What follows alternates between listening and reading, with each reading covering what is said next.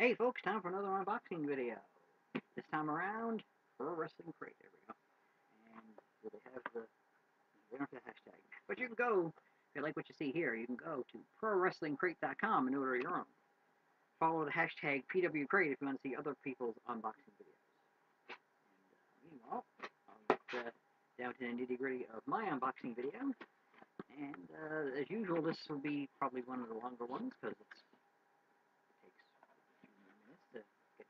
So, here we go. First thing I wanted to look at anyway. So, spoiler alert, the other side of this card contains the contents of this crate. Next month's theme is Wrestlers with Podcasts. So this month is, for the love of hearts, it's Valentine's Day. So, first off, we have a Hitman Retro Bret Hart t-shirt. And just because I'm paranoid, Yes, double XL. Just because I'm paranoid. Let's have another look. Anyway. And All Heart, Johnny Gargano. Johnny Wrestling.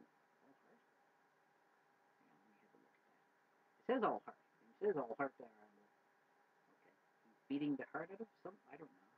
I don't know what's going on. I really don't know what's going on with that. What can anyone can explain what's going on with this? Besides, he's hitting something with the steel chair. Anyway, um, we have a one and a half the Golden Lovers, a Kota Ibushi micro brawler action figure, and uh, these used to be over Brother Love fanny pack.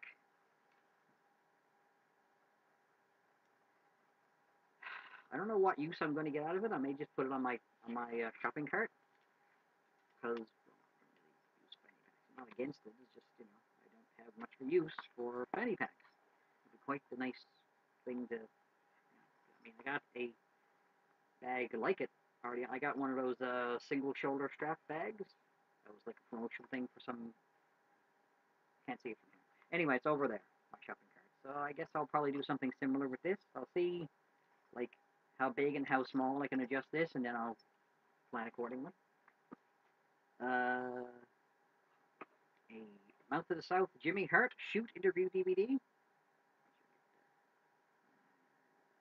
Trying to get the, trying to get it lit up properly without actually uh, getting too much glare on it. A Dude Love exclusive collector's pin. Rest is just one. Usually just one.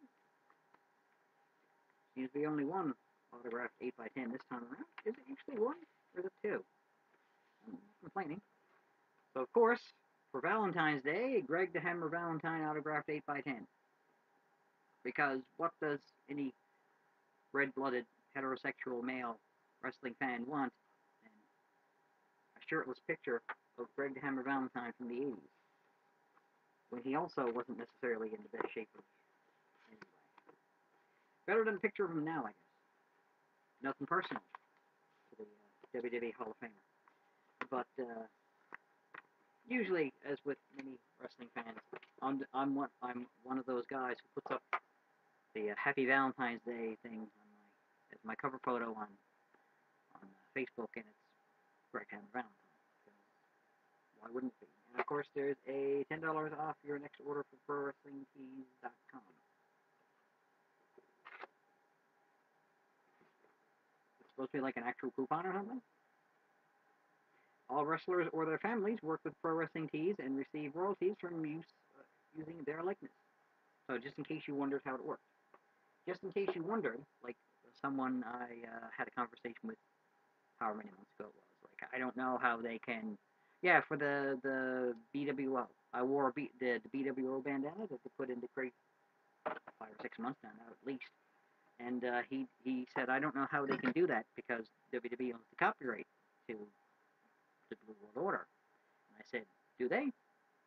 Because you know you keep hearing them every couple of months. They they renew a, a um, they renew a, a copyright on something that you probably just assumed they already had the copyright to, or they're registering a copyright rather on something that they already had a copyright to. Like when they did the um, what are they doing with uh, Nia Jax now? The immovable force, or uh, whichever one they used in reference to Andre the Giant before. So they registered that however many months ago, and then they started using it for Nia Jax. So we just assumed either they already had it copyrighted, or they, I guess, whatever way couldn't copyright it. So it's uh yeah, so it's a good one. Um, not in time for Valentine's Day, obviously, but I don't think it was really intended to be. Like, oh, I can't. Oh, I was gonna open this with my Valentine. Like, well, I kind of just did, I guess. Anyway, so yeah, many of us have the same Valentine, and it shows. Anyway, so um, that's it, I guess. Um, oddly enough, I think this might be the, depending on what I end up doing it, doing with it, and I'm sure it will be quite the conversation piece. I'm not going to wear it as a fanny pack, but like I said, I'm probably going to add it to my uh, my shopping cart. Or what I used to do, I had another fanny pack. It was like lime green. I think. I think it was like a dollar store one or something. I just wanted a fanny pack, or I got it somewhere really cheap, or someone gave it to me or something.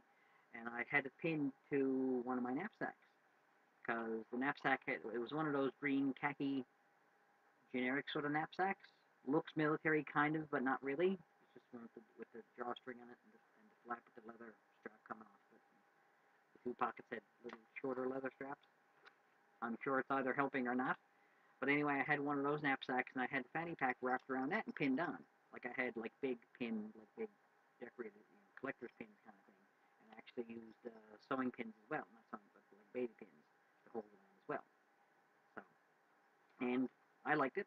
Whether anyone else liked it is secondary, but anyway, so I might, if I'm so inclined, because I'm using the edge.